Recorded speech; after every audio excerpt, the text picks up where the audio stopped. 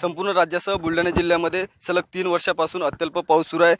दोन वर्षाच्या तुलनेत यावर्षी देखील बुलढाणा जिल्ह्यामध्ये अत्यल्प पाऊस पडलेला आहे. त्यामुळे अनेक जे सिंचन आहेत हे ओस पडलेले आहेत. प्रकल्प जे आहेत ते ओस पडलेले आहेत.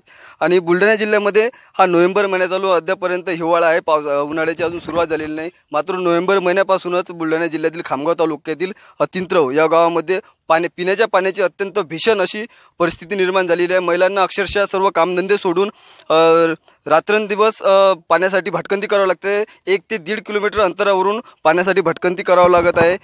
खूप त्रास हा येथील महिलांना सोसावा लागत आहे. नेमक्यात काय नेमके त्यांच्या भावना आहेत? कशा पद्धतीनं पाण्याचा हा दुष्काळ या गावामध्ये पडलेला आहे?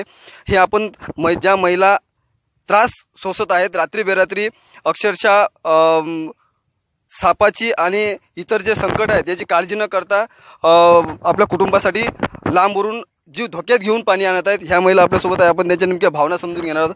आजी काय सांगाल? कशा पद्धतीची तुमच्या गावामध्ये ही अ, बिकट परिस्थिती झालेली आहे? आमच्या गावात पाणीच नाही. सकाळून सात वाजतापासून जर रोडचा नंबर लावला तर एका खेपीच्या वर खेप भरत नाही. आणि जर दुसऱ्या दिवशी जर कामाला जर गेलो तर पाणी प्यायला सापडत नाही. जर इराईवर जा तर इराईत पाणी नाही. वावरावले म्हणतात इरीचं पाणी काढू नका. इराईत भलतीच्या खोल. रातच्या जर रोडचा गेला तर रातच्याही बी एका खेपीला नंबर लागत नाही. अंधार कीट आहे राहते भलतीचा. र- अंधारी राहत आहे. आणि आपण कशाहून पाणी गोटा साप आहे काटवणार आणि एखादीचा जर पाय पडला मी एखादी लेकरूबाई जर असली कोणी असली तर मग कसं करावं तिचा कोण जबाबदार आहे? सरपंच राहते शेगात अटी नाही लाईटाचं काहीच नाही काहीच नाही तिचा ग्रामपंचायत माध्यमातून काही नळ योजना वगैरे काही आपल्या गावात झालेली नाही? नळ आहेत नळ तर आमच्या गावात आहेत पण आता इरिलेच पण नाही. सरकारी तर नळ काच्या माते येते? आणि गरिबी परिस्थिती अशी असते जर कामाला गेल्याशिवाय पोट भरत नाही. जर पाणीच जर भरत राहिलं तर खावं काय घरात? आणि जर आपण पाणी नाही भरलं तर प्यावं काय? हा तर प्रश्न आहेच की नाही? आम्हाला रातच्या बेराच्याच पाणी भरायला लागते आणि सात वाजता तरी येऊन नंबर लावा लागते. ते दोन खेपी वगैरे पाणी सापडत नाही आम्हाला. रातच्या बेराच्या रातच्या या काठवात भलकाचा मोठा सरप आहे. लेकरं टाक बा- रातच्या जर लाईन असले तर लेकरं टाकून झोप घालून पाणी लिहा लागते अडीसा आणि लहान लहान लेकरं झोप घालून. दरवर्षी अशीच परिस्थिती असते की याच वर्षी अशा पद्धती झाले आमच्या गावात हेच परिस्थिती आहे. हेच परिस्थिती आहे दोन वर्ष झाले आमच्या गावात. या याकडे सरपंचांनी ग्रामपंचायतीने काही दखल घेतलेली आहे का? तुम्ही मागणी केलेली आहे का काही? आता मागणी तर केली पण इरीत पाणी नाही ते म्हणतात मग काय करा आता? एका इरीचं पाणी घेतलं होतं त्या लहान लहान लेकरू खूप कुठे या पाणी आले आम्ही माणसं होते तेच कोहराय ना धंदे टाकून दिला पाणी यायला लागते.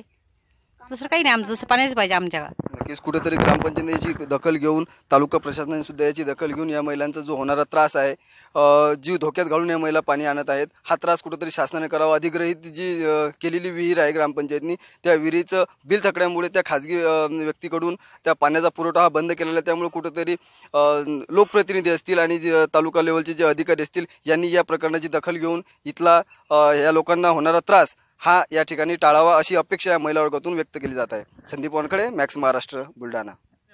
परंतु यावर्षी परिस्थिती इतकी गंभीर झालेली आहे की गेल्या एक दीड महिन्यापासून सातत्यानं विहिरीचं पाणी पुरवठा हा खंडित झालेला असून त्याच्याकरता मी तालुक्याच्या कृती टंचाईच्या कृती आराखड्यामध्ये सर्व अधिकाऱ्यांना सांगितलं.